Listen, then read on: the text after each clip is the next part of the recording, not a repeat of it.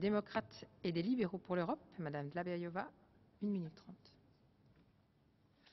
Vážená paní předsedající, vážené dámy a pánové, hovořím nyní jako stínová zpravodajka zprávy o absolutoriu Evropskému rozvojovému fondu.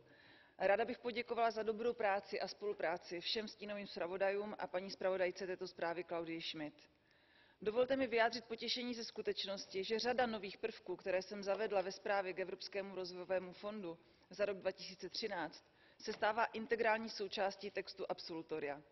Ať už se jedná o pohled zaměřený na výsledek a výkonnost nebo vyvozování závěrů a formulace doporučení pro příští období. I v oblasti rozvojové pomoci je zapotřebí respektovat ekonomická kritéria a vnímat realitu. Nicméně připouštím, že ona realita se stále mění, a to poměrně výrazně i v portfoliu aktivit Evropského rozvojového fondu. Stejně jako navrhuji i v případě absolutoria hospodaření Evropské komise, i Evropský rozvojový fond by měl vyhodnotit, zda jsou jeho prostředky zaměřeny na skutečné priority. Podle mého názoru se aktuálně jedná o dvě hlavní oblasti. Problematiku migrace a ochranu před teroristickými riziky. Jejich nezvládnutí může ohrozit veškeré další rozvojové aktivity podporované ze strany Evropské unie.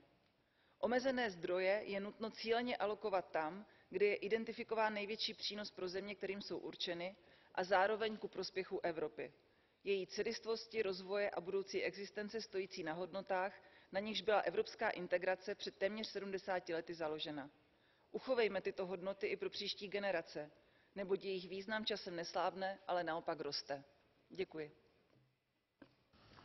Merci. Madame Kari.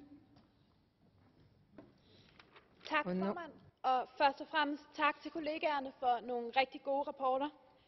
Men jeg må indrømme, at det føles også noget, skal vi sige, håbløst.